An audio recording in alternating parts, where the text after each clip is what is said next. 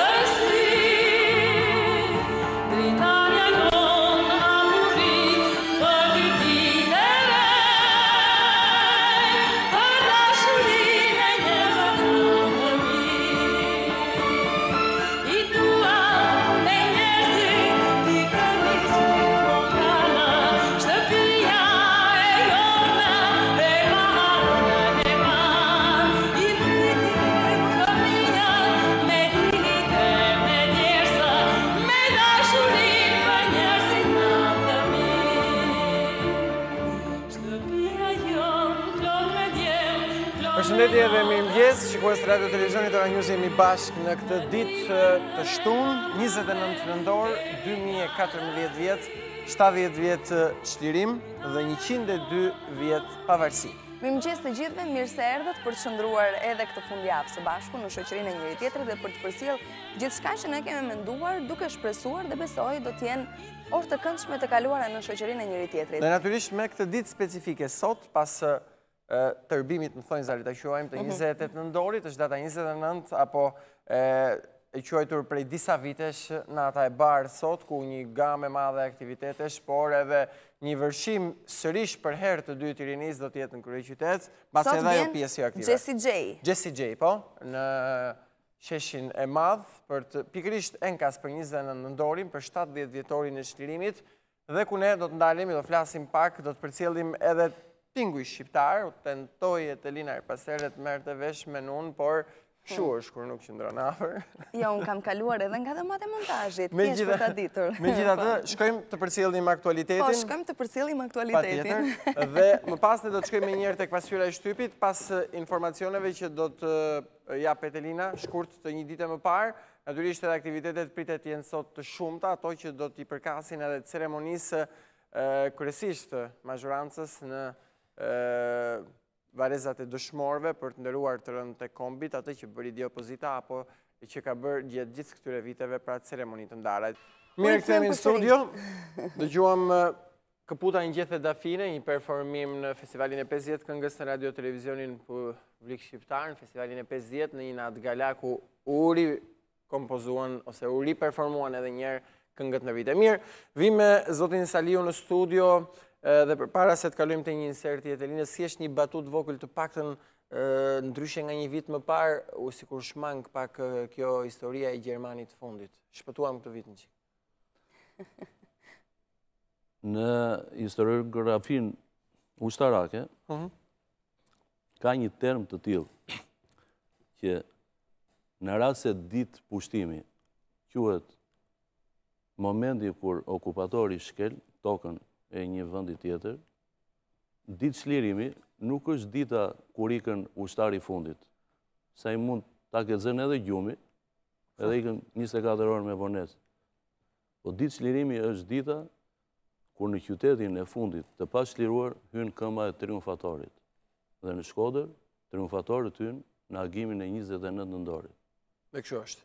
Dhe kështu e thotë historiografia ushtarake dhe kjo është një përcaktim që nuk ka nevojë për asnjë lloj komenti tjetër.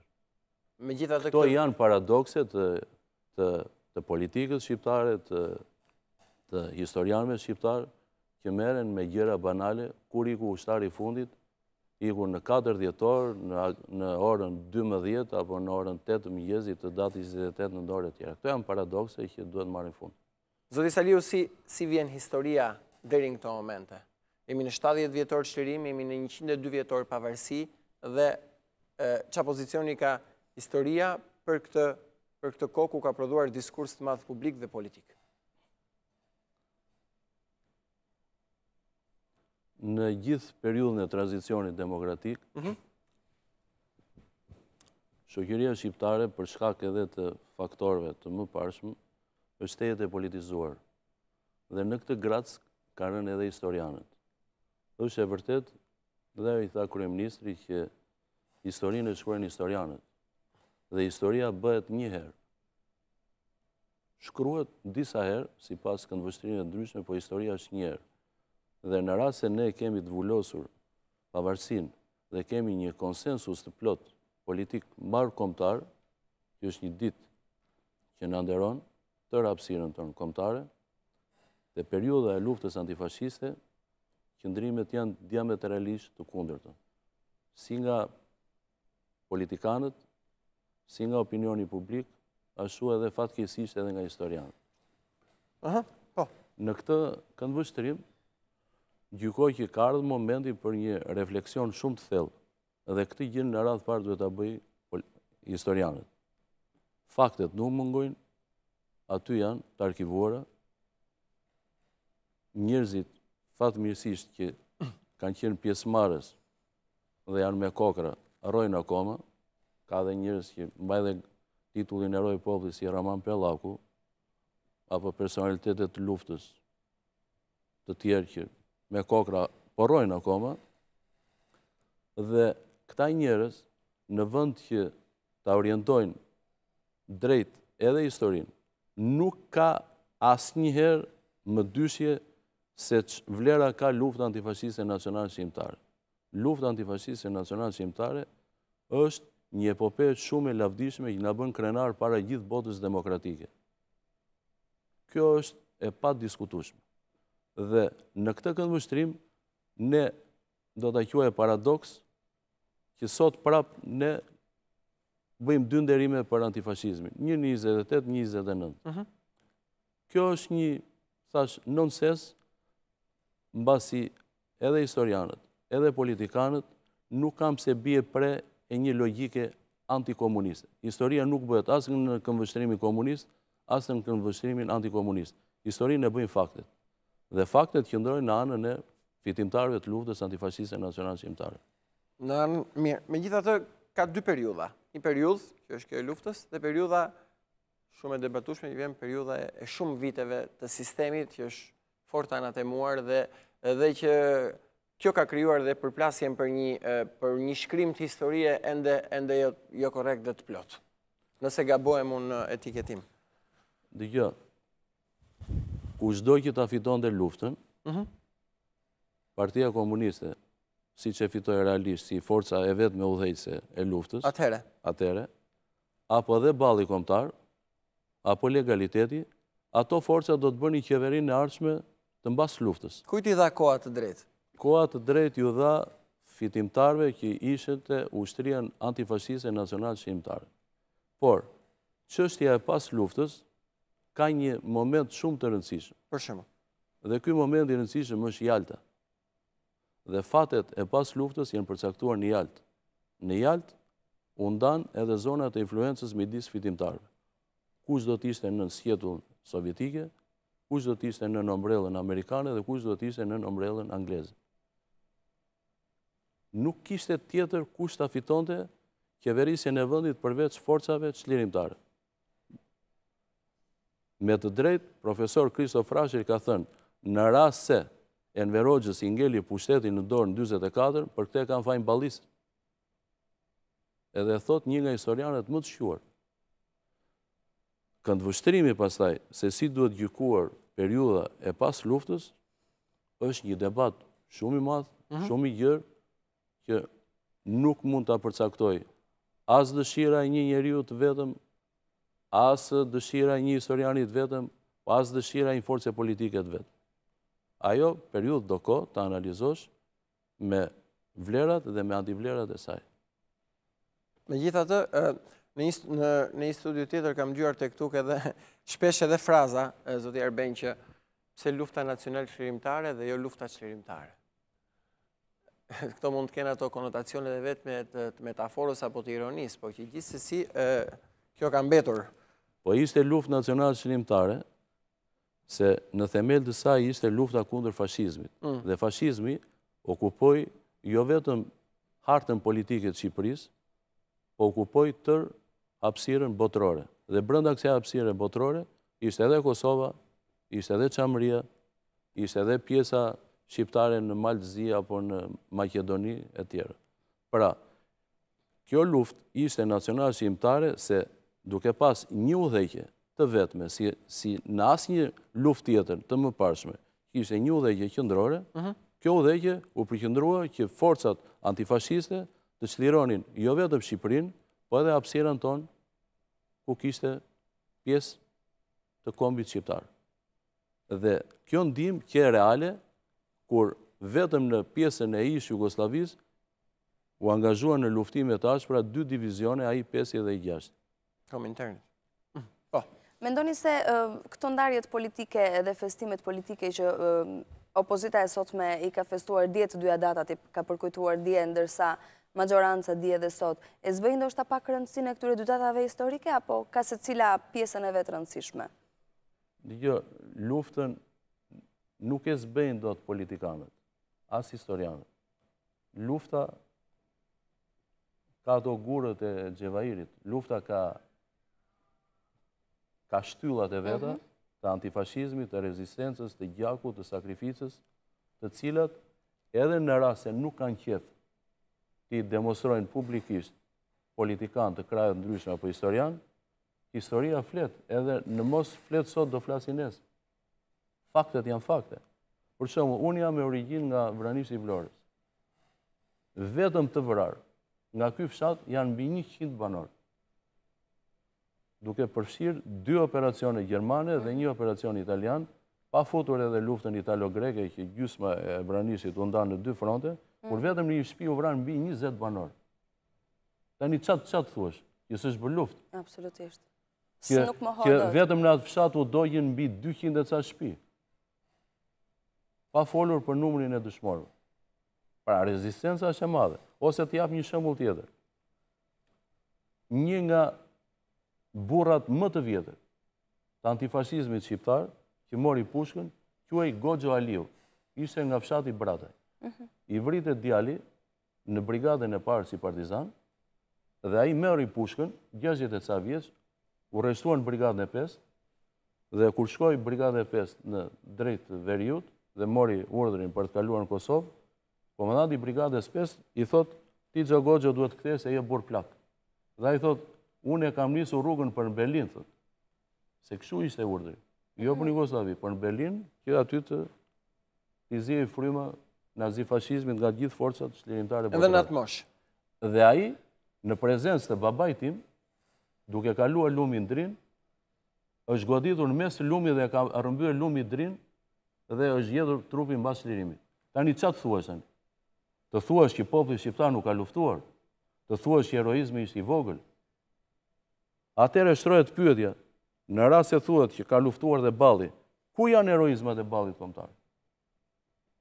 Ku janë? Ka me qindra vetë që janë varur, që janë pushkatuar, që kanë vdekur duke u prerë këmbët apo duart me sharë hekuri. Unë fatmirësisht kam ja një njeri para një muaji vdiq, Hajro Haxhia, një nga bashkëluftarët e babait tim, ishte me një këmbë, Babai im është varrosur me copa predhash në trup, kishte trembëdhjetë plagë në trup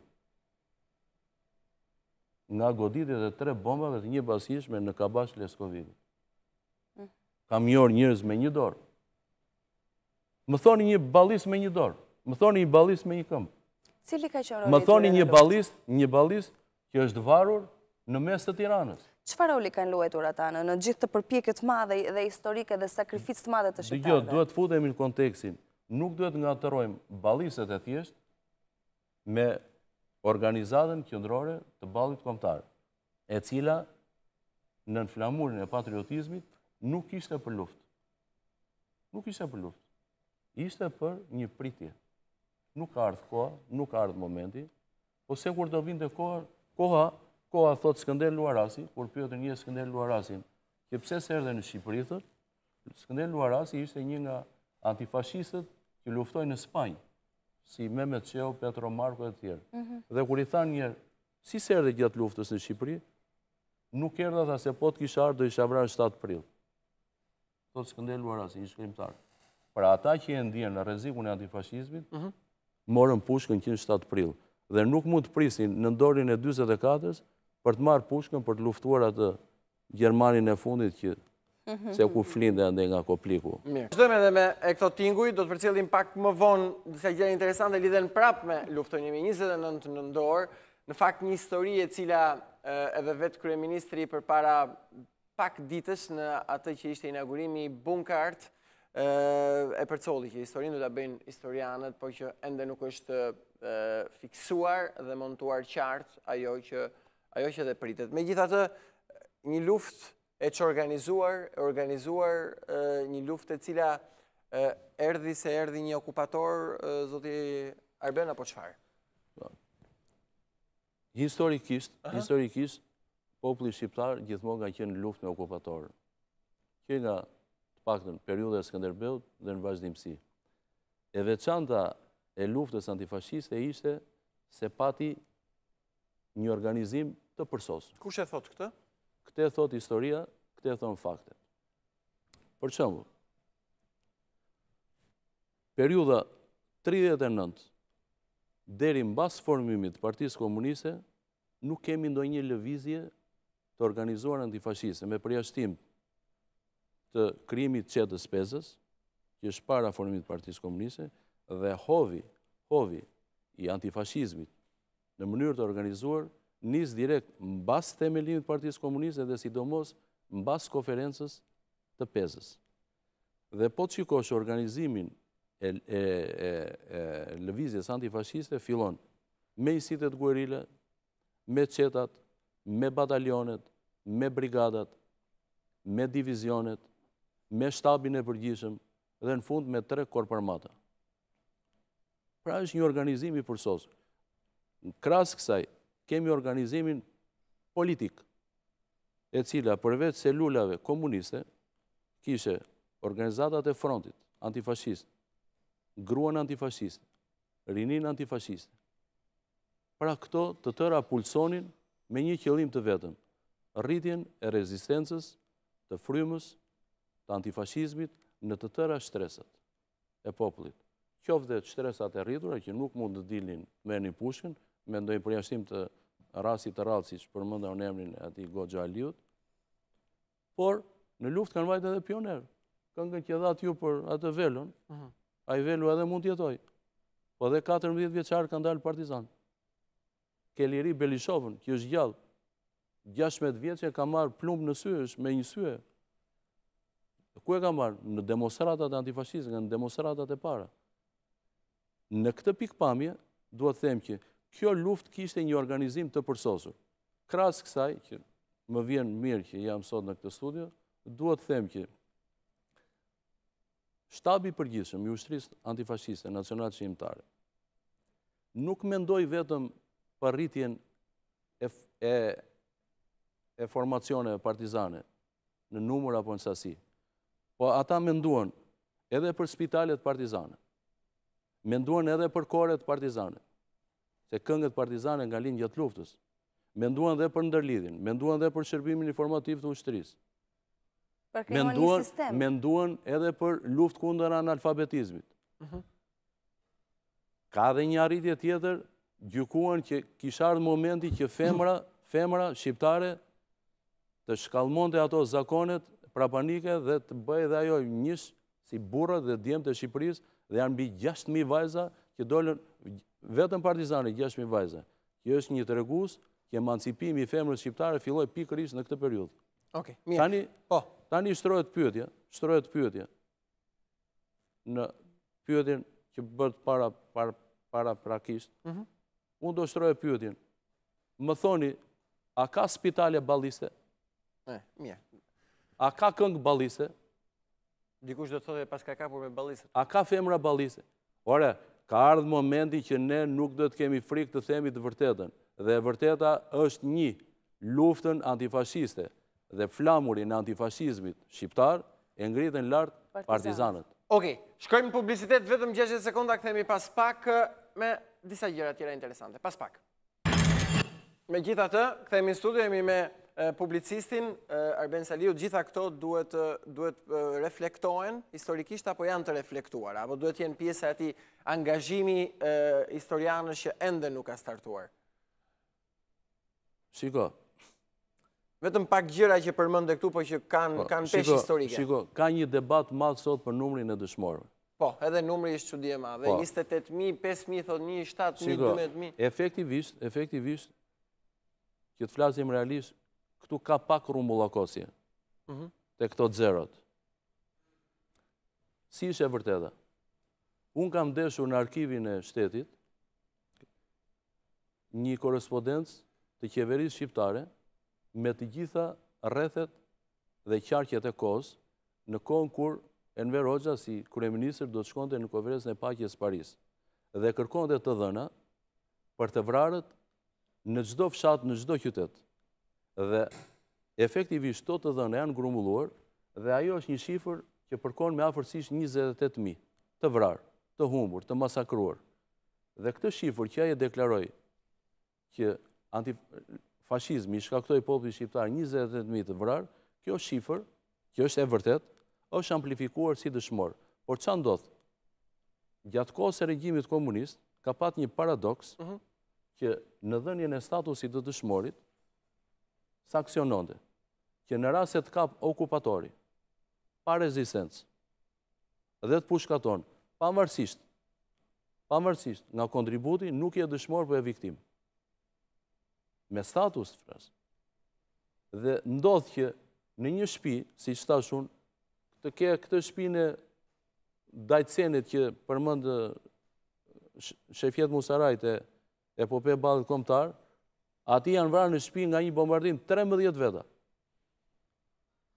asnjë nga ata ka rrezik nuk është dëshmor. Mhm. Po kjo nuk do të thotë që ka statusin e dëshmorit, apo nuk ka statusin e dëshmorit. Fakt është që fashizmi i ka shkaktuar popullit shqiptar 28.000 të vrarë. Dhe ky është numër i saktë?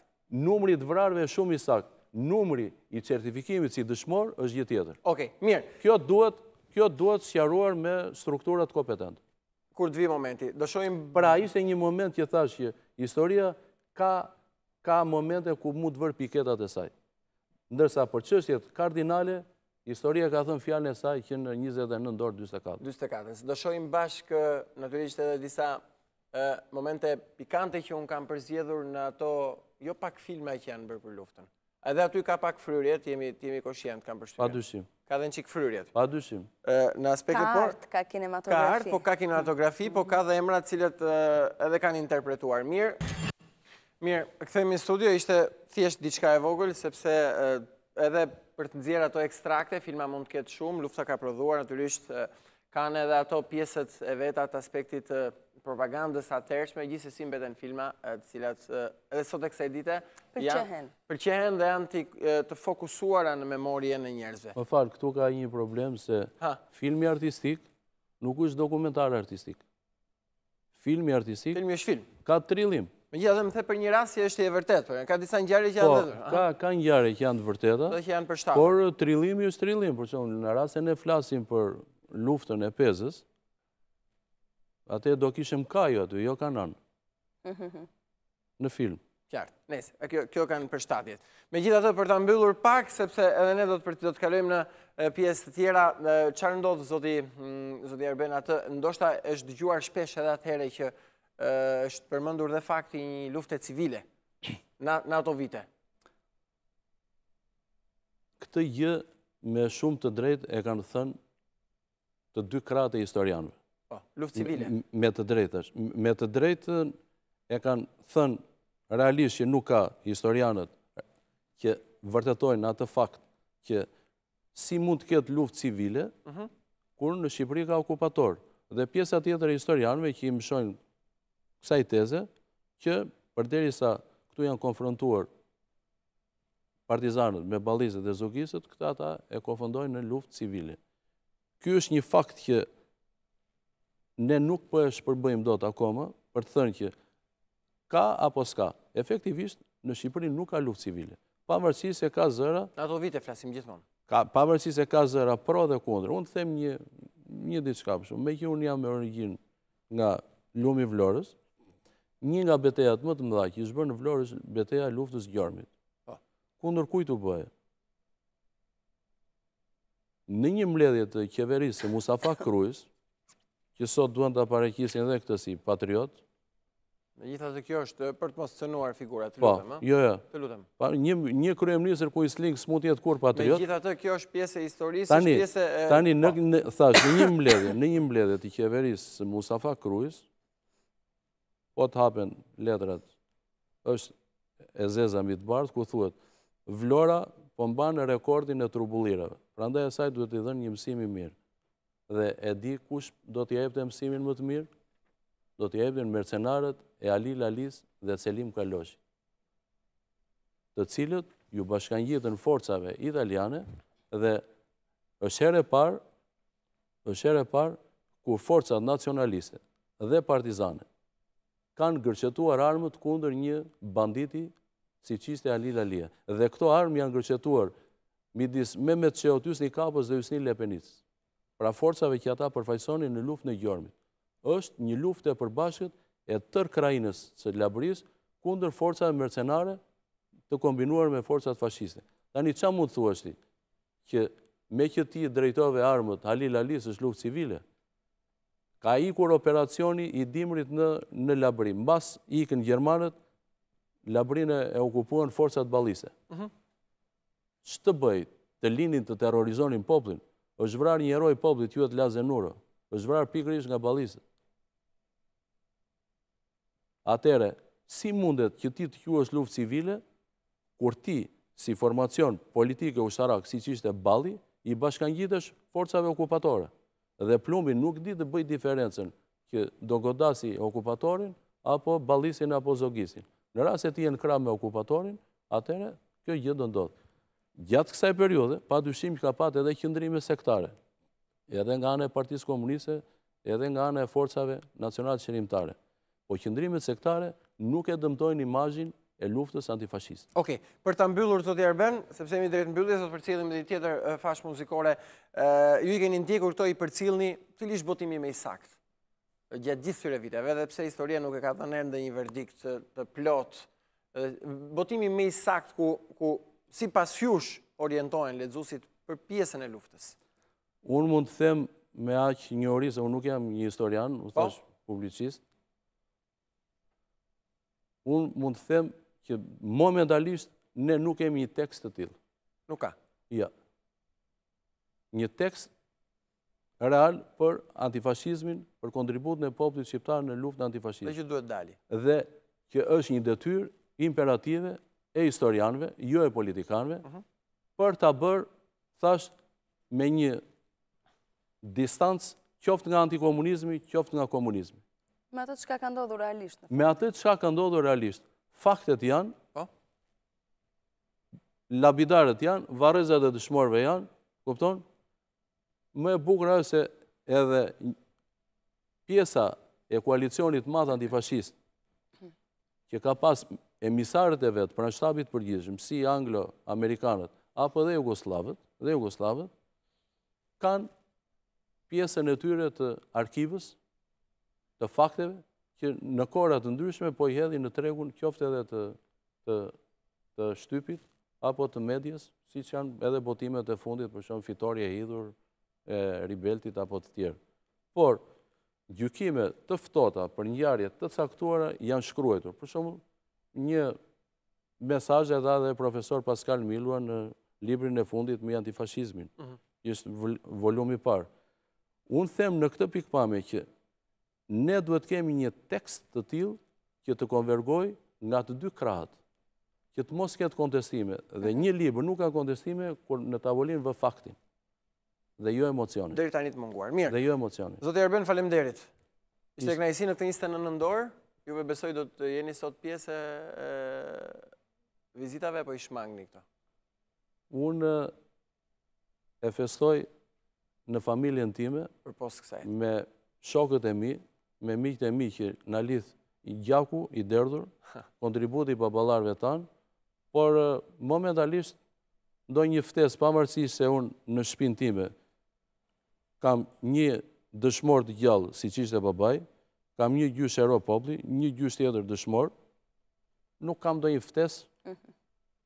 Ashtu dhe si shumë, gjatë këtyre ditëve kam takuar shokë të mi, që janë dhe pasardhës të njerëzve të shquar të antifashizmit shqiptar, dhe më kanë thënë që nuk kemi ndonjë ftesë për një eveniment siç është 70 vjetori i çlirimit. Pavarësisht nga këto, janë gjëra që i ka ndonjëherë edhe protokolli, që edhe anashkallon.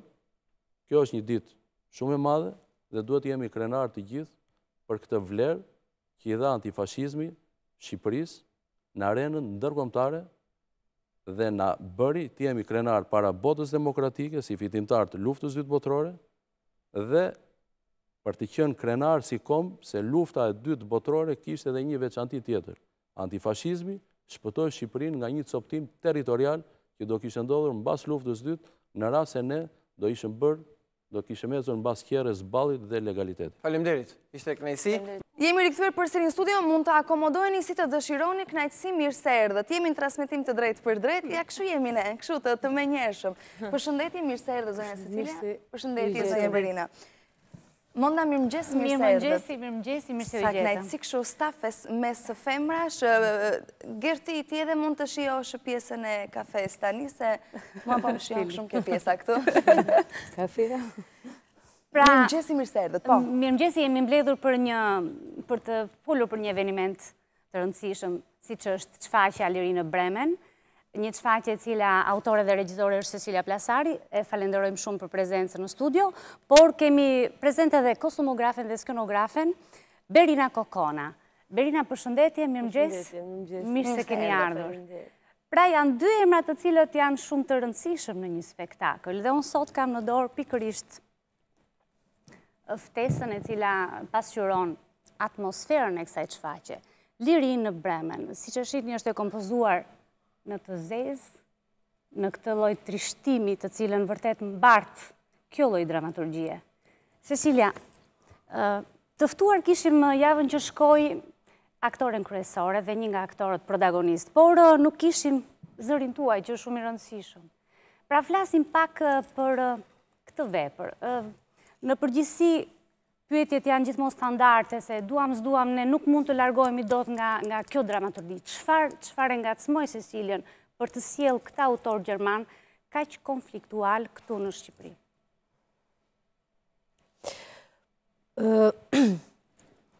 E para është dramaturgjia, është një, një dramaturgji e shkëlqyer, sepse arti gjithmonë nuk është çfarë bën, por është si e bën.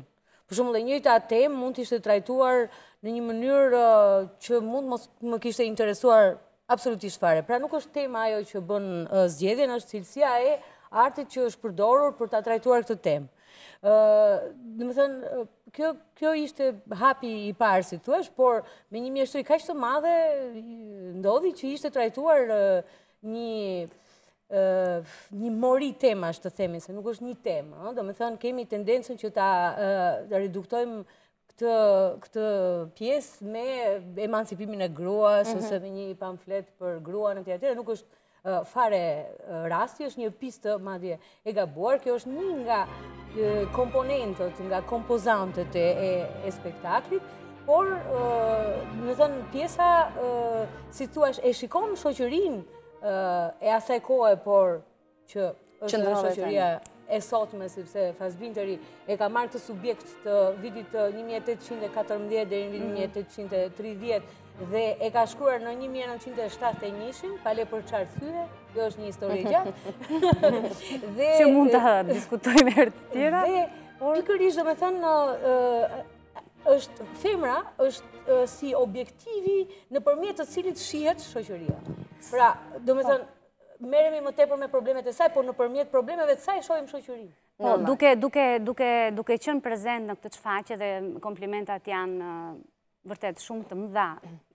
Është një punë shumë voluminoze, shumë e vështirë. Por direkt për atë spektator, pjesë të spektatorit që nuk ka mundur ta shohi. Nis me një me një kasapan, domethënë që është janë sertore, pra, sertore e cila vërtet të krijon një lloj ankthi, një lloj trishtimi. Dhe spektatori është i përgatitur se çfarë është duke parë, pra, që në fillim merr një shuplakë të tillë. Thonë që gjithmonë dramat e forta, siç është edhe kjo vepër, sjellin dhe reflektime të forta. Pra, mendon se vërtet kanë ke mundur të reflektosh atë çka ti doje të thoshe, Sesilja, në këtë pjesë. Gjithmonë si regji. Domethënë, Unë jam munduar me çdo kusht që të mos bëj zgjedhje, mhm. domethënë të pjesshme në këtë dramaturgji, sepse shpesh ne regjizorët, marrim një vepër dhe na interesojnë një dy tema të veprës dhe i mëshojmë atyre dhe të tjerat po, po. i lëmë në një, sigurisht, no?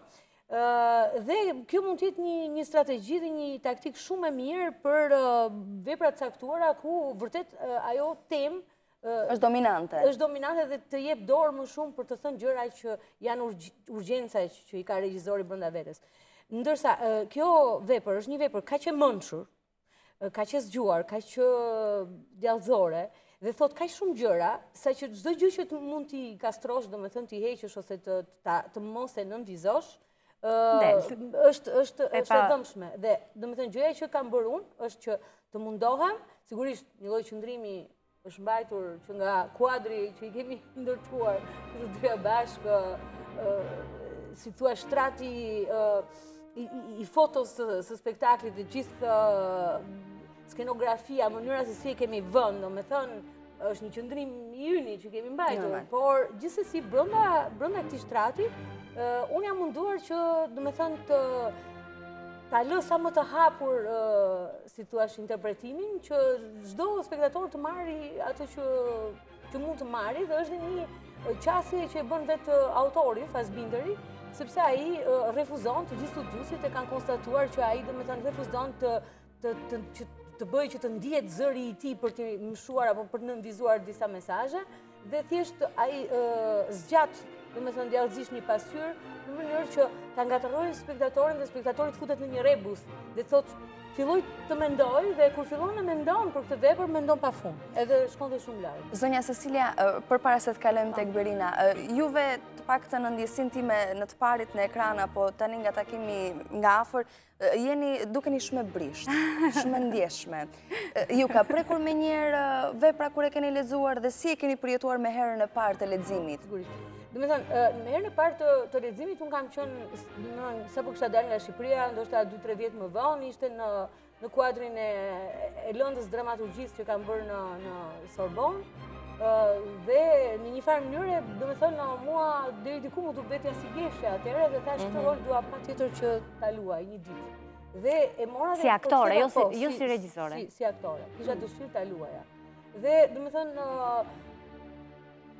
sepse, domethënë, e veçanta e kësaj femre, pavarësisht se çfarë zgjedhje bën ajo në jetë, dhe tema e zgjedhjes, e arbitrit të lirë që na është dhënë për të vepruar, është një nga temat kryesore të pjesës, Pavarësisht nga zgjedhja e saj, domethënë, ajo është një njeri i parakohshëm në kohën e vet. është një njeri i birë, një njeri, domethënë, që shkëputet nga trupoja, si thonë, nga kopeja.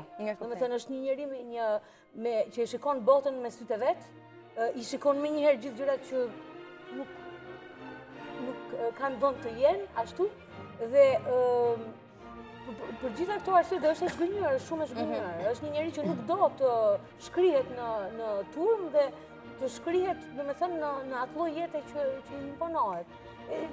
Si duket, domethënë kisha ca gjëra të përbashkëta me personazhin, përderisa... Pa diskutim Pa diskutim.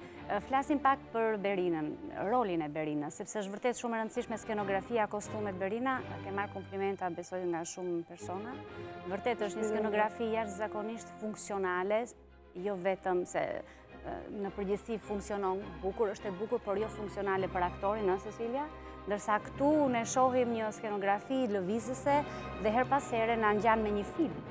Pra, skena transferohen nga kjo skenografi, zonë në këtë zonë tjetër dhe fare mirë këto arka që marrin kanë këtë lloj vlere, pak më pas marrin një vlerë tjetër. Pra ishe ti që erdhe tek Cecilia apo Cecilia te ty dhe si, si arritët në këtë konkluzion, kaq të sofistikuar dhe të vështirë?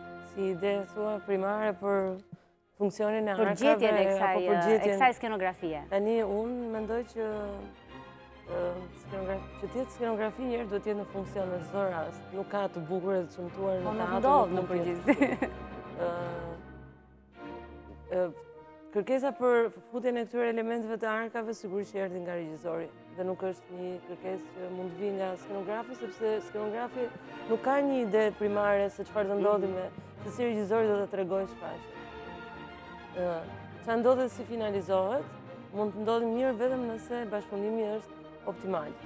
Edhe unë mendoj që gjithë skenografia nuk mbetet vetëm tek arkat, ajo është një skenografi që zhvillohet Deri në momentin final, dhe sikurse zhvillohet deri në momentin final edhe bashkëpunimi me regjizorin.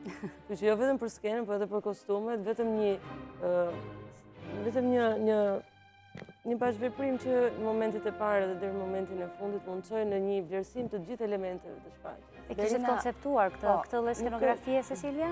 Më fal, jo, Etelina? E kishte të konceptuar Cecilia? Apo erdhi gjatë rrugës? Domethënë, kisha ide të cilat duke folur me Berinën, duke folur të dyja, duke plotësuar njëra-tjetrën, u qartësuan gjithnjë e më tepër. Po, domethënë... Kështu funksionon, nuk mund të... Shiko, juve, domethënë, Në një teatër nuk e ndan dot kurrë, asnjë element i shfaqjes nuk mund të jetë i një personi 100%. Kupton? Sepse nga momenti që ka një regji, ka një njeri që drejton, atëherë, unë ia kam thënë Cecilias dhe është parimi im përgjithësisht që rëndësi ka që puna ime t'i jetë domethënë regjizorit apo t'i hyjë në punë maksimalisht. Mhm. Në atë moment unë kam plotësuar dëshirën e regjizorit, kam plotësuar imagjinatën e regjizorit, atë që ka kërkuar, mund të di, domethënë, unë jam e bindur që që në ditët e para dhe në skicat e para, ne nuk kishim arritur në këtë konkluzion që jemi. Pra, u zhvillua. Por, zhvillimi i asaj që regjizori ka në kokën e tij, mhm. për të arritur maksimumin, është Për ta çuar atë atje ku ai do të shkojë. Është momenti ideal i arritjes së punës së çdokujt që punon me një regjisor. Përndryshe një skenograf do do dilte do bënte një skenografi që s'do kishte asnjë sens.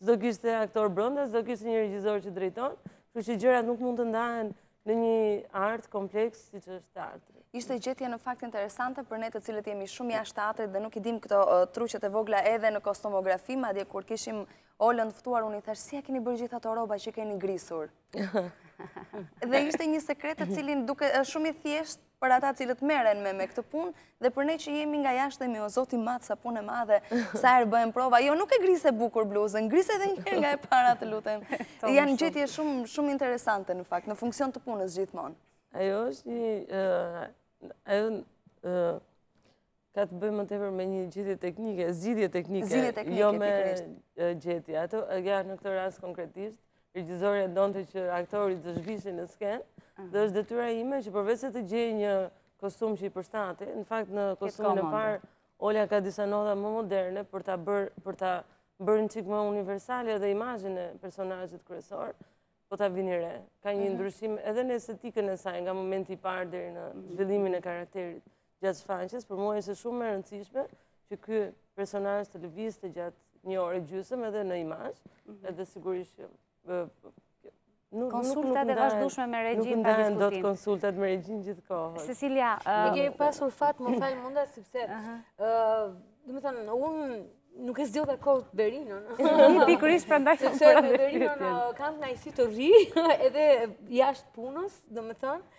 Kemi shumë gjëra për të ndarë dhe për të thënë. Dhe, si thuash, puna për ne s'ka qënë punë, ka qënë, si thuash një frymëzim i përbashkët, kemi ndenjur shumë bashkë, domethënë ndoshta po të isha me një burrë, skenograf, nuk do të dija do të... Se do mbaronte gjysmëorëshi i punës, edhe pastaj ndërkohë që ne të gjitha gjërat Po dhe me burrat rrihet shumë mirë. Jo, se këtu ndihet shumë feminizmi. Burrat gjithmonë janë trajtuar jo, është këtu e si janë të sjellë. Jo, Cecilia pa diskutim, po edhe unë iu dedikova me shumë kënaqësi kësaj shfaqjes, nuk besoj që... Ndjehet, ndjehet, ndjehet, Berina. Ndjehet puna e bukur. Me 24 orëshin tim, në kuptimin e parë të fjalës. Por, Cecilia, jemi tek loja ansambl, që është një nga sukseset e shfaqjes, kudo, por shfaqja duhet të jetë ansambl, pra, duke qënë protagoniste Ola dhe gjithmonë pjesa tjetër e aktorëve është gjithmonë më pak e angazhuar, skenikisht gjithmonë në skenë, a është ka qënë vërtet një lojë ansambl 100% e realizueshme duke përjashtuar faktin se regjizori kurrë nuk është i kënaqur me lojën e aktorëve. Pra, dua të qëndroj një çikë tek ansambli, tek loja, tek loja ansambl, se si kanë funksionuar aktorët e tjerë.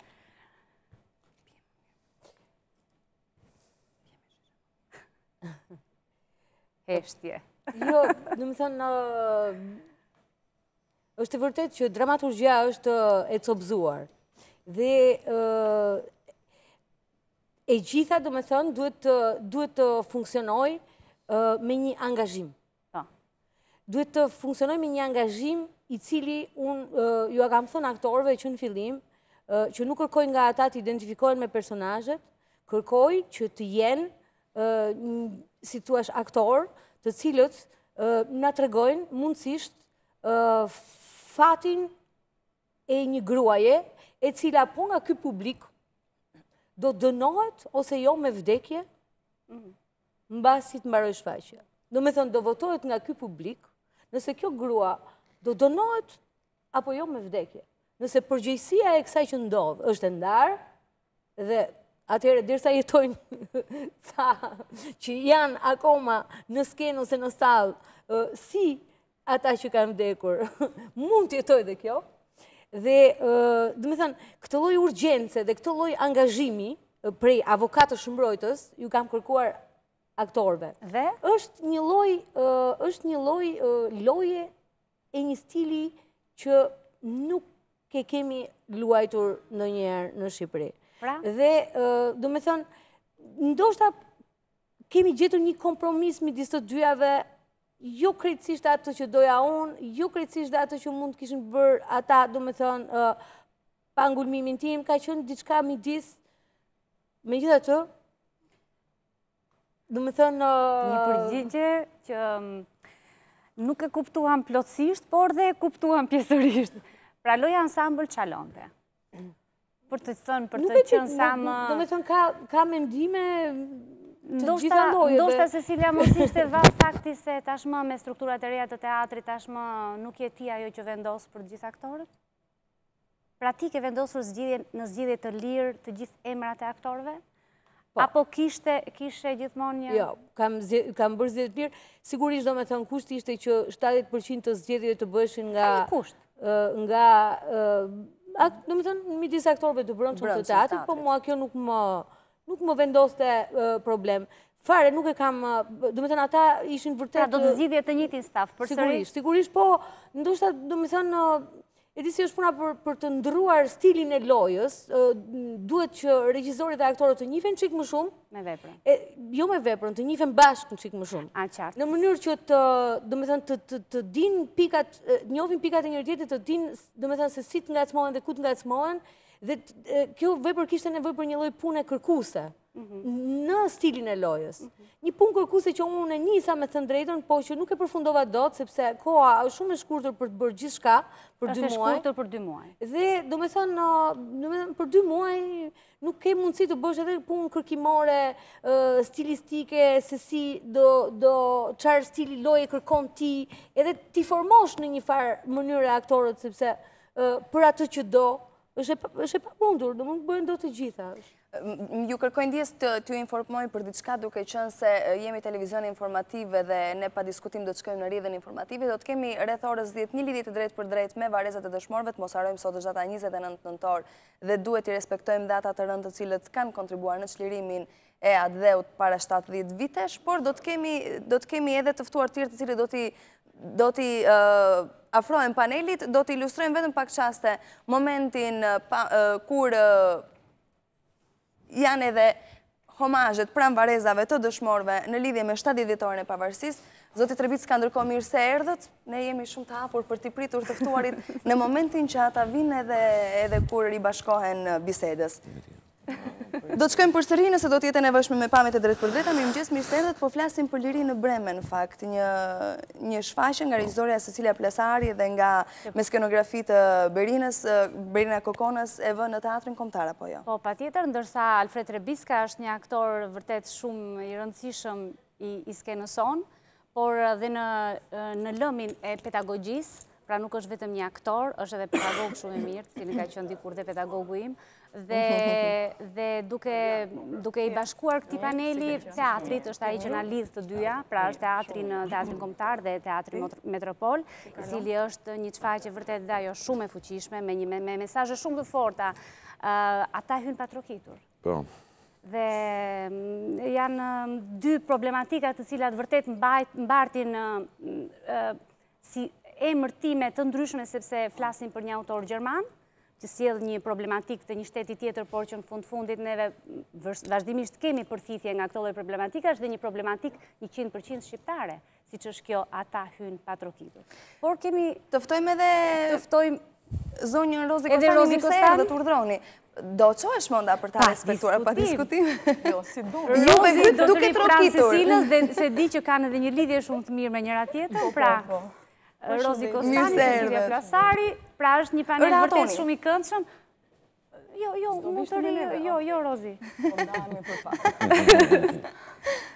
Atëherë ishim, para se të shkojmë tek shfaqja e Fredit dhe e Rozit, dhe Mandborës, natyrisht, është një treshe të cilët kanë bashkëpunuar. Akoma nuk kemi konsumuar finalen, jemi pra pikërisht me Sesilian për shfaqjen e Sesilias. Sesilia, mendon që Kjo lloj dramaturgjie, fillimisht e mendove si do të perceptohej kështu në realitetin shqiptar? Kjo pyetje është shumë e vështirë për mua, sepse unë nuk mund të kem realitet tjetër përveç se realitetit tim. Këtë javë që është ka qenë dhe prezent në shfaqje, si kanë qenë opinionet, si e ke pa shfaqjen? Domethënë, unë e kam të vështirë ta ndaj, kur më duket një vepër shumë e rëndësishme, interesante, e tjera, e tjera, nuk mund të them që për realitetin shqiptar kjo bën apo jo, sepse unë jam shqiptare vetë, unë jam testuesi shqiptar mhm. i një vepre, domethënë, përderisa kjo vepër më flet, më ngacmon dhe më frymëzon mua, unë mendoj a priori që gjithë shqiptarët e tjerë, domethënë, mund të jenë të interesuar nga kjo vepër, domethënë, mhm. Dhe ato kthimet, si të thua, që kemi marrë deri tani, domethënë, nuk e di, mua më kanë lënë pa gojë. Në kuptimin që kanë qenë jashtëzakonisht të mira, kuptohet, ata që nuk e pëlqejnë dhe që është tout à fait normal, domethënë, është krejt normale, ata që nuk e pëlqejnë, kanë arsyet e tyre, sepse dhe në Gjermaninë e Fasbinderit, Fasbinderi ka bërë, ka krijuar shok, domethënë, ka krijuar shumë pakënaqësira, mhm. dhe unë jua kam thënë aktorëve që në fillim, që kjo nuk është një vepër që do ketë unanimitet. që do ketë njerëz që mund të dalin shumë të shqetësuar, mund ta hedhin poshtë, mund t'ju duket si një dru kokës etj etj. Domethënë, kjo lloj përçarje që kërkon Fasbinderi me të gjithë veprën e tij, mhm. ishte e rëndësishme dhe sa më e madhe të jetë kjo aq më e realizuar më duket mua puna që kemi bërë. Por Domethënë, opinionet e tilla neve nuk është se na vinë, se njerëzit i thonë, për shembull, nëpër tavolina të tjera, dhe neve nuk na i thonë, na thonë vetëm gjërat e mira. Për ta bashkuar, për ta zmadhuar panelin, pra për të folur për shfaqjen e fundit të cilën isha dje prezent, Ata hyjnë pa trokitur. Kjo shfaqje është ka tjetër format, nëse do ta emërtoja kështu, sepse teatri kombëtar ka një skenë të madhe ku spektatori është shumë larg, ndërsa në rastin konkret spektatorin e kemi shumë afër. Një dramë vërtet shumë e fortë, që mbart shumë problematika të mprehta të atyre viteve. E shohim që të dy aktorët Alfred Rebicka dhe Rozi Kostan janë përballë me, me, me spektatorin i cili është tërë kohën i, i shokuar nga ky lloj interpretimi dhe ato çka duan të thonë. Fredi, e nisi me ju. Ehm, e kishe të vështirë këtë lloj komunikimi se pashë që tërë kohën, domethënë, e kishe gjetur shumë bukur, ishe një zgjidhje shumë e bukur ajo, ajo e, e folura e lehtë e juaja, megjithëse kishe një, vërtet një problematikë shumë të madhe brenda vetes. Të shi... Spektatorët bezdisi, apo? Jo, absolutisht.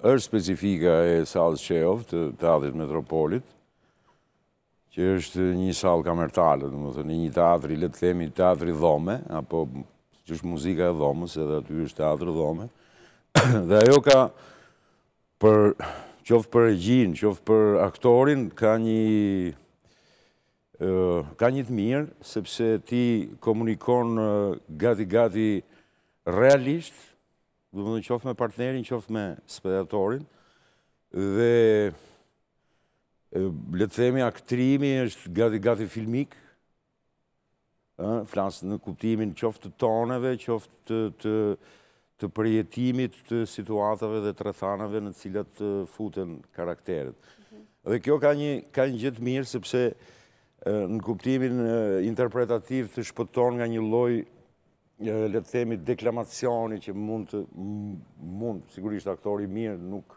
nuk bie pre e deklamacionit në çdo lloj rrethane në çdo lloj salle në çdo lloj gjëje por Kjo lloj salle ishte ishte shumë shumë adapte për për zhanrin po themi apo për mënyrën se si ishte shkruar vepra, se si është se si është ndërtuar vepra.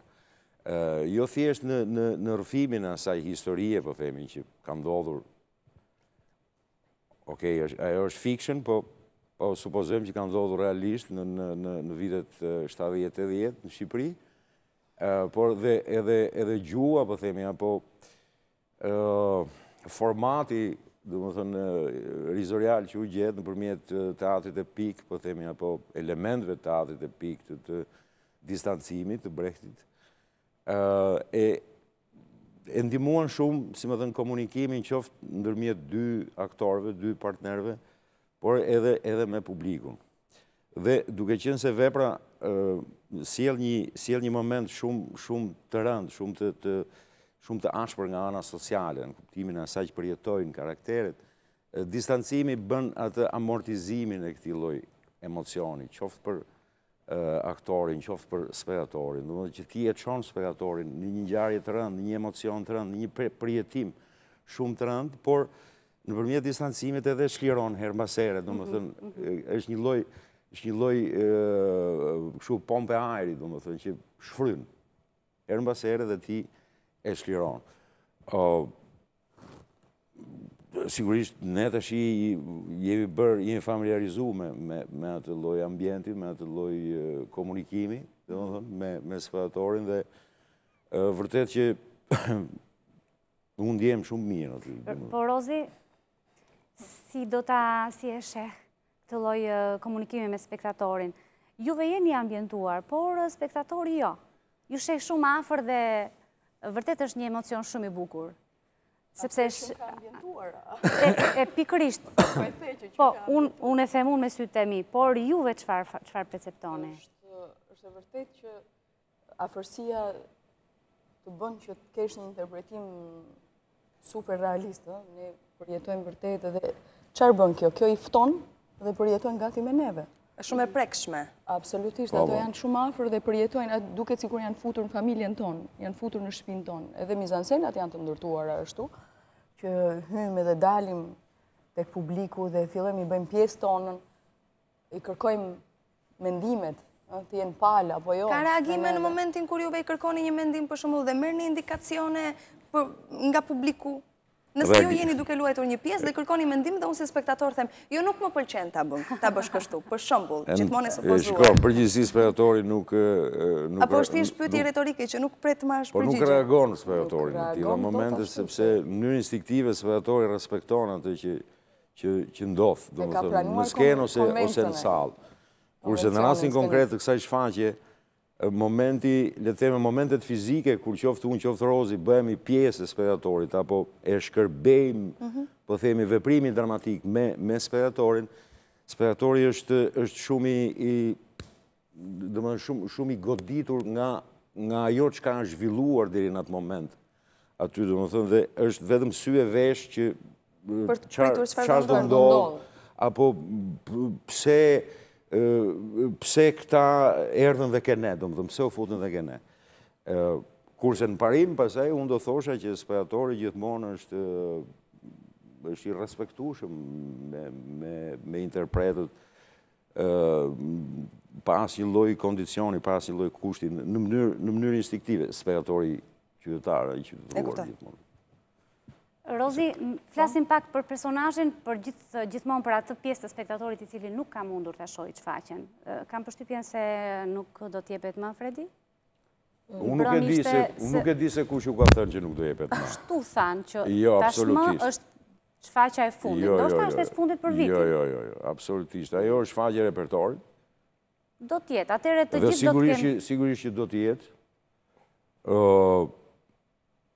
Ju mbase keni dëgjuar disa fjalë përsa i përket sistemit kontraktual, kontratat që bëhet një numër shfaqjesh dhe mbyllet kontrata, një tjetër. Por në qoftë se shfaqja është funksionale dhe mhm. kërkohet, shfaqja është repertori dhe është shfaqje repertori, nuk është shfaqja... Pra do të vazhdojë të jetë në repertorin e teatrit Popullor. Sigurisht, dhe në 2018. Ah. Këtë e themu. Neve na pëlqen shumë të luajmë, që që unë jam dakord me ty. Është një problematikë e cila... Kam parë, Tash, Cecilia, di që keni qenë prezent, Rozi ishte me mua kur pa shfaqjen tuaj. Duke qenë një problematikë e cila i prek të dyja, dhe shfaqjen tuaj dhe shfaqjen e Rozit, një pyetje të cilën unë do doja ta bëja. fëmijët, 12 vjeçarët, të cilët nuk e njohin këtë lloj realiteti, si mendoni se përballen, kur shohin një shfaqje të tillë, paksa të vështirë për ta kuptuar mesazhin, për shfaqjen tuaj gjithmonë, dhe pak të rëndë për shfaqjen e Cecilia Plasarit.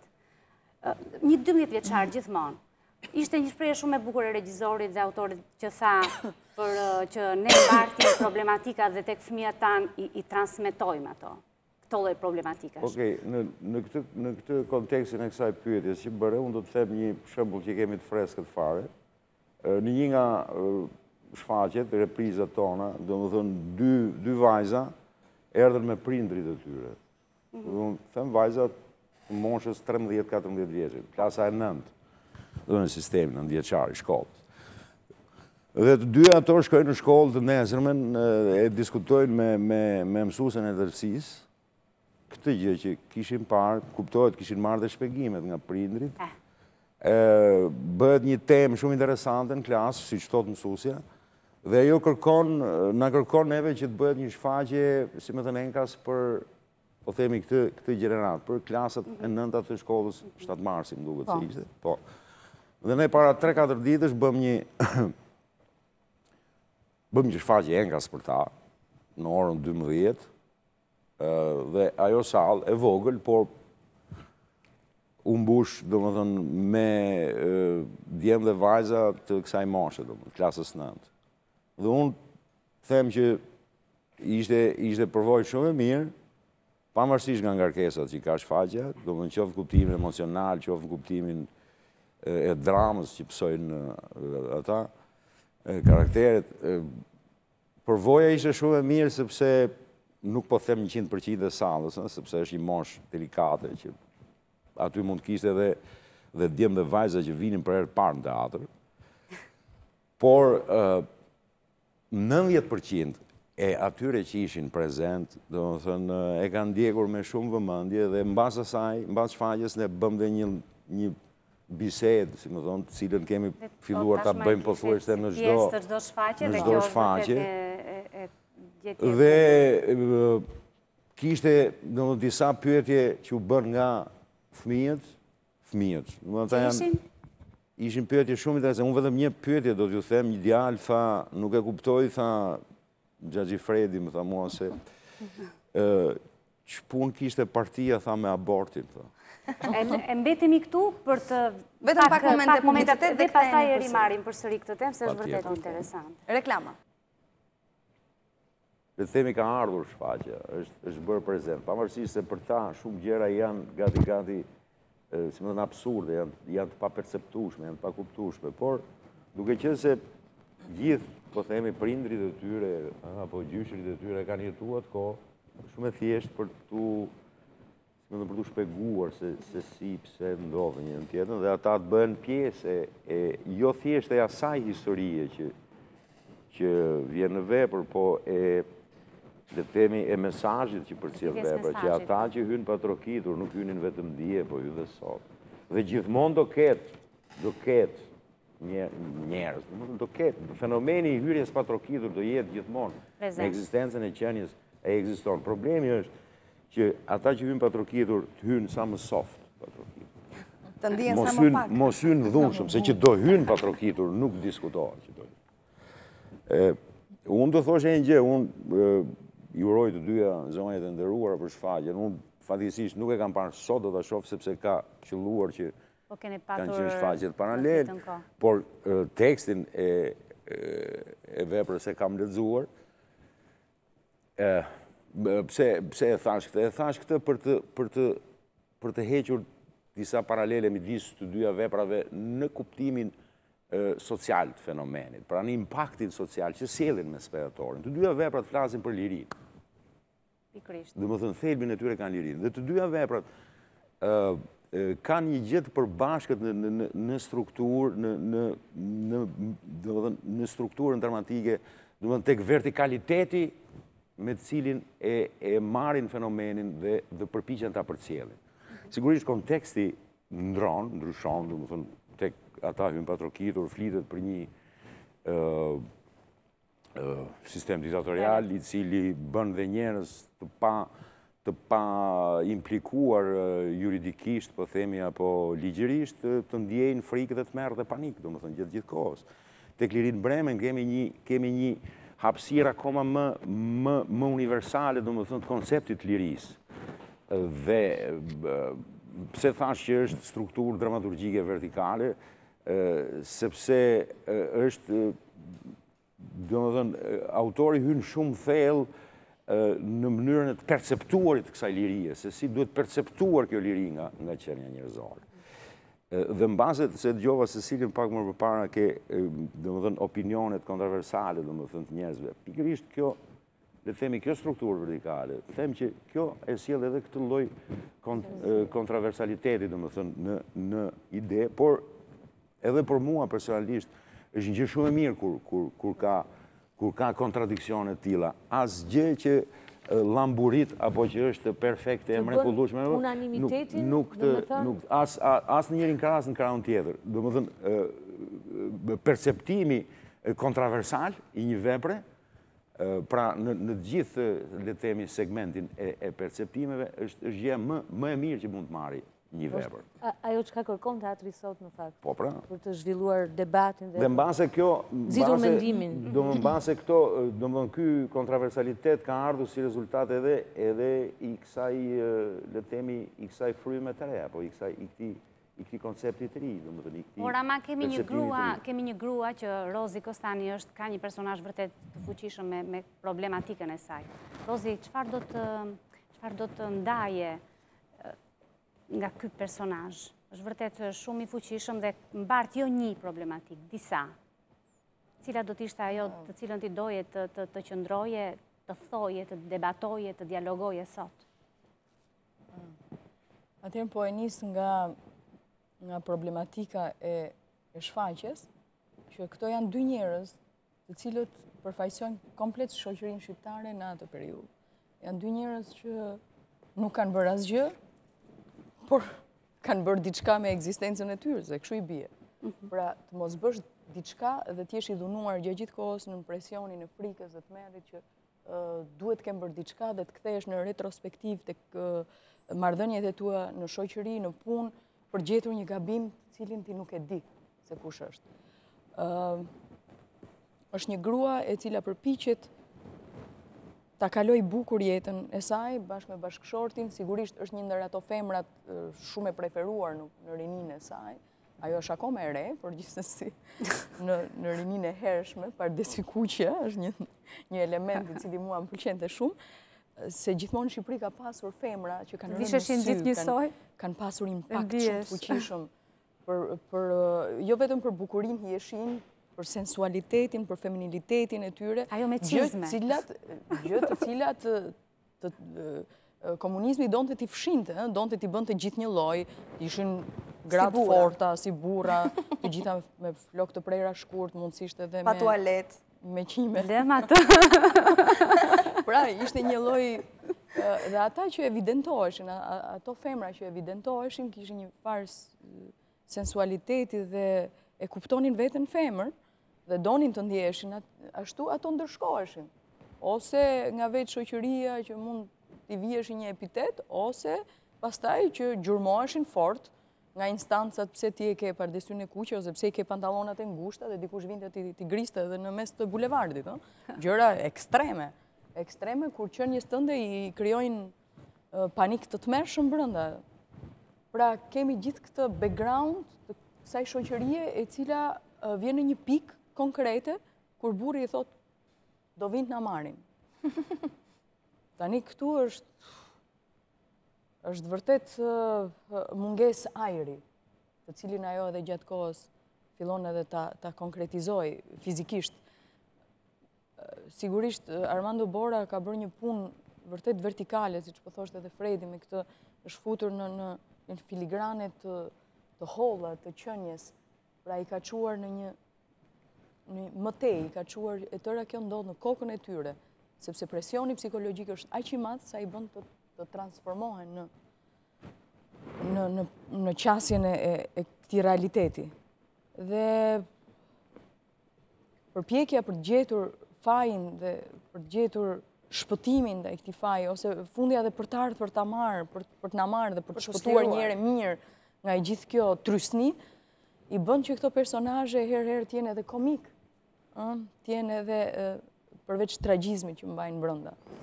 Dhe secilja, për të dhënë atë opsionin tënd në lidhje me fëmijët, përderisa e lidhëm dhe t'i vëmë një pikë pra po- prezencës së fëmijëve 12 vjeçarë dhe në qëka qënduaj. Unë përpara desha të them diçka për pjesën që luajnë Rozi me Fredin, sepse mhm. e kam lexuar para 2-3 mhm. vjetësh, edhe jam një nga personat që ndoshta e ka inkurajuar Armando Borën që ta vërë në skenë këtë pjesë, sepse e shikoja si dramaturgjikisht shumë cilësore dhe me interes, Edhe jam shumë e kënaqur që ia ka arritur qëllimit dhe që, domethënë, me këta aktorë dhe me ç'kemi dëgjuar me sukses, dhe mezi pres ta shoh, e uroj që të mund ta japin së shpejt. Është dhe repertor. Dhe në të mërë në të mërë. Prapë është dhe repertor. Po, Sesilia? Kurse përsa i përket fëmijëve, Them, është e domosdoshme. Fëmijët e kuptojnë lirinë në mënyrë fare të natyrshme dhe shumë më mirë se ne. Po është e domosdoshme që ata të mund t'i kuptojnë prindërit, sepse mhm. iu transmetohen bagazhe të tëra me një lloj vuajtje ose një shtypje që ata e kanë të vështirë ta perceptojnë. Ata e kanë vështirë t'i perceptojnë pse prindërit janë kështu.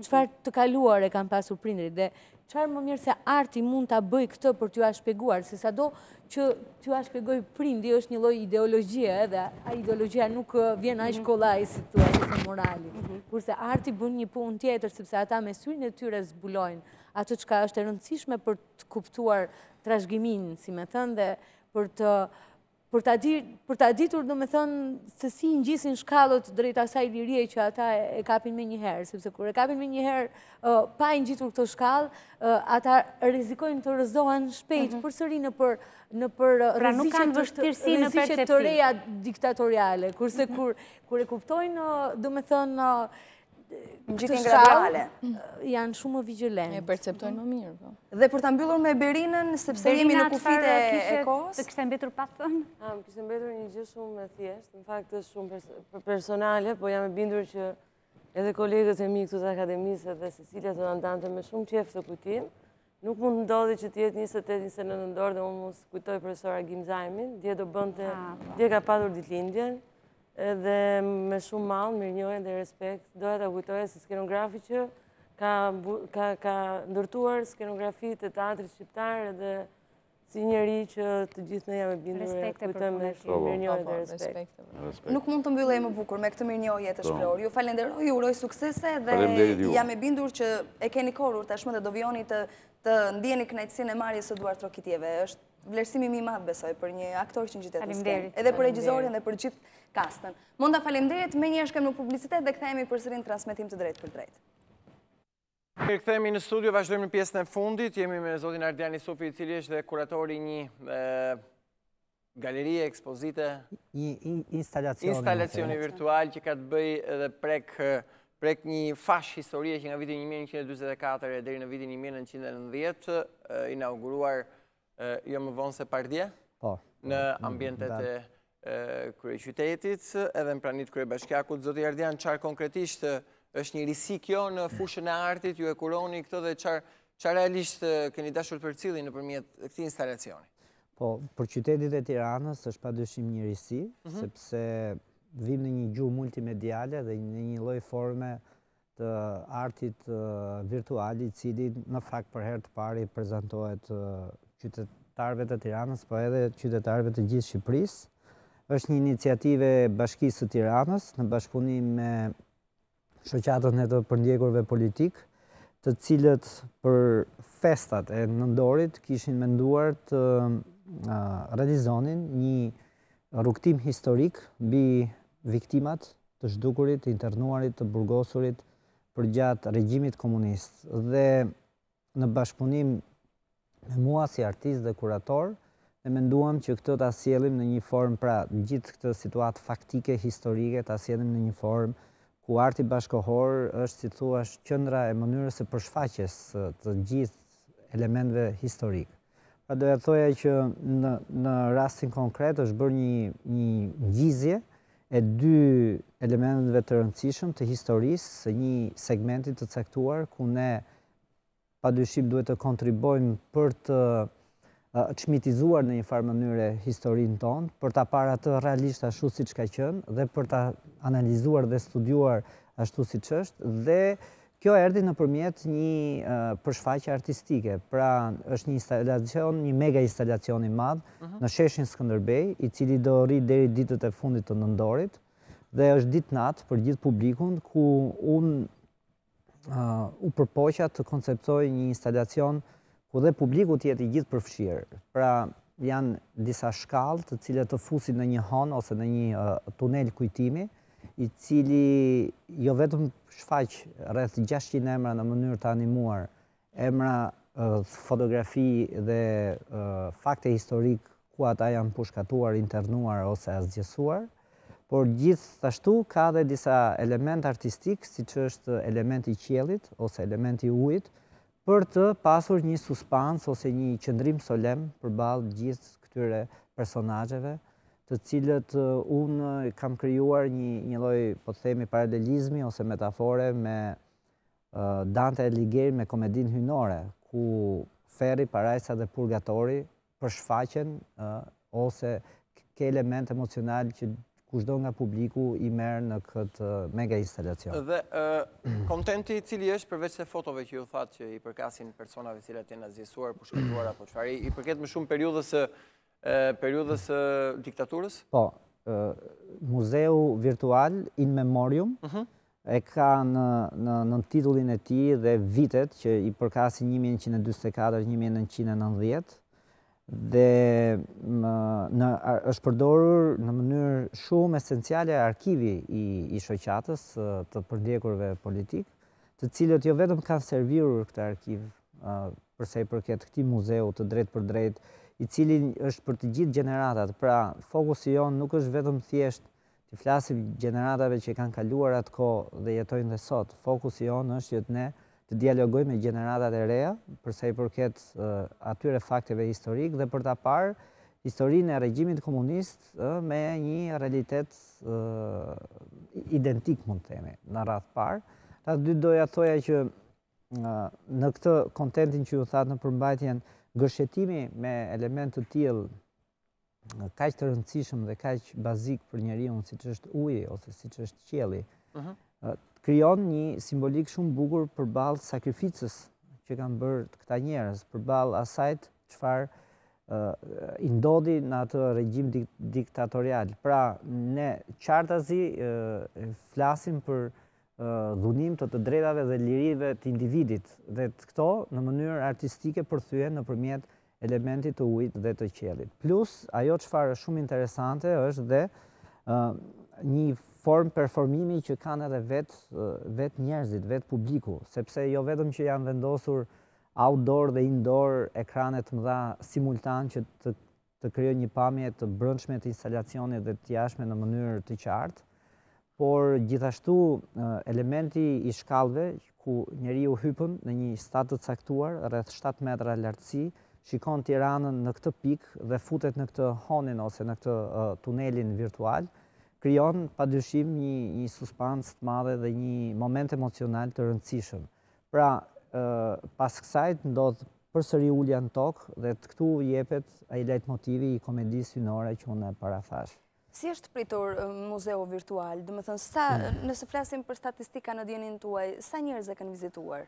Që ditën që është hapur dhe deri sot që flasim. Unë doja thoja që falë një organizimi shumë të mirë të bashkisë të Tiranës për sa i përket edhe rrugëtimin që duhet mhm. bëjnë, sepse fundi fundit do edhe një, një lloj mënyre për t'i orientuar njerëzit për të folur dhe me ta. Ka nevojë për një ciceron? Shoh që, jo, për një ciceron nuk ka nevojë, ne kemi vënë tekste që janë në shqip, në anglisht, jepen fletëpalosje, pra ka shumë elementë të cilët... Japin informacion. Japin informacion, po gjithsesi informacioni jonë është informacion statistikor, për të dashur për t'i lënë njerëzit edhe vetë publikun që të reflektojë vetë mbi kohën, ne nuk e, nuk japim një përfundim, thonjëza, domethënë, këtij publiku me këtë muze virtual, po e ngacmojmë atë për t'u futur në disa tema të rëndësishme ku realisht ai duhet të reflektojë. Pra, është një qasje, mund të themi e re, të mënyrës si ne duhet t'i sugjerojmë publikut material, i cili ai vetë duhet të analizojë. Kjo është një mënyrë shumë e kohës për të parë që historia, domethënë, historia që duhet të rindërtohet, padyshim periudha e Enver Hoxhës shpiku ose montoi në një farë mënyre historinë e Shqipërisë, sidomos për vitet kur, kur ai mbizotëroi në, në vendin tonë, dhe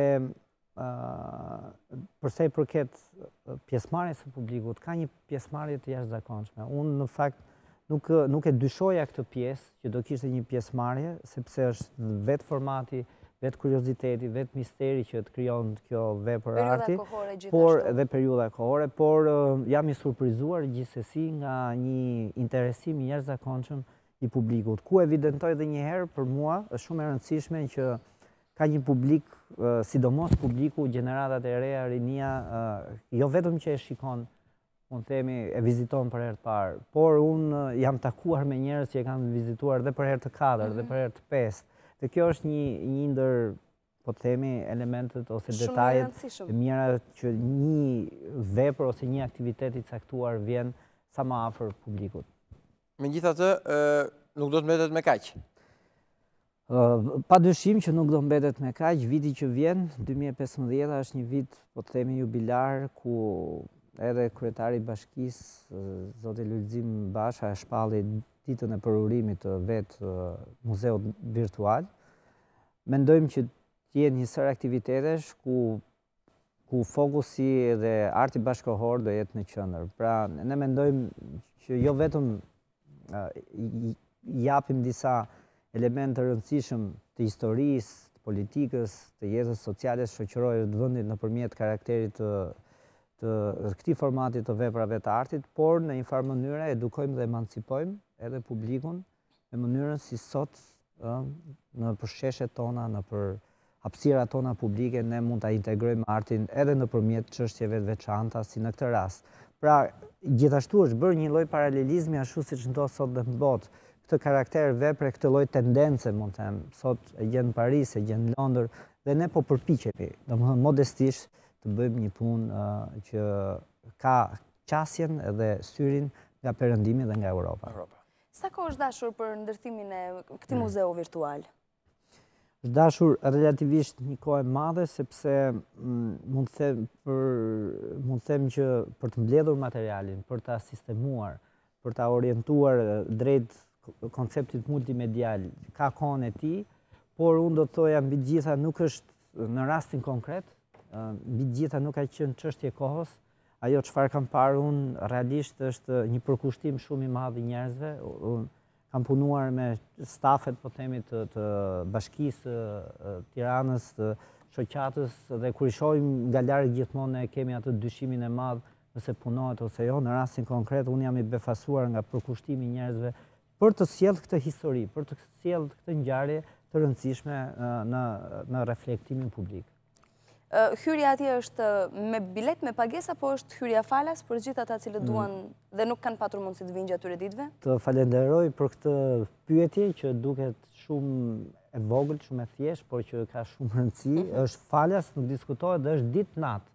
E rëndësishme është që në çdo orë një njeri që mund të gjejë mundësinë. Mund të ditës ose të natës mund të shkojë dhe ka dhe një element tjetër shtesë, sepse ditën ka një format edhe një formë tjetër të të marrjes dhe të shijimit të këtij informacioni, kurse natën ka një pamje komplet tjetër. Pra, në të dyja rastet ne jemi përpjekur që t'i japim publikut, si thua, brenda të njëjtit bosht të veprës, t'i japim emocione të veçanta. Mirë. Zoti Ardian, unë të falenderoj. Falenderit juve. Ishte kënaqësi për këtë prezencë në studio, për këtë risi, që është edhe ky muze instalacioni, që me zotin Ardian Isufi, i cili ka kuruar këtë, hyrja falas, ditë-natë për këdo që është i interesuar pranë ambienteve të sheshit qendror. Sheshit Skënderbej. Sheshit Skënderbej. Mirë, meqenëse jemi këtu, shkojmë në insertin e filmit, nuk di nëse është gati lens, dhe në lidhje me filmat më të rinj, dhe më pas do të shkojmë tek pjesa e fundit me sportin, por fillimisht do të njihemi me insertin dhe me hyrjet më të fundit të kinematografisë nëpër botë. Ta ndjekim. Përfunduar. Kemi si mbritur në fund. Po do e mbyllim sepse do i lëmë radhë programacionit dhe informacionit në vazhdimësi, por kemi edhe nesër një tre orash mjaft të mirë që do kemi të ftuar t'i zbuloj që sot, ta dekonspiroj. Ja, ja. Në orën 14, pra në edicionin informativ, po jo vetëm, edhe sa mbarojmë ne, kuptohet me kolegë të tjerë, po në orën 14 është sërish Edelina pra në